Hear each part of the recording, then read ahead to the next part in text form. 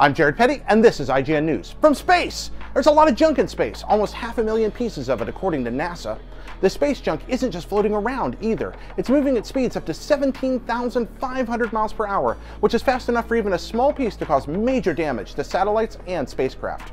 One research lab in Beijing is creating a way to use that space junk as fuel. Their spacecraft will grind debris into an ion-charged powder, which will produce energy when ejected from the ship.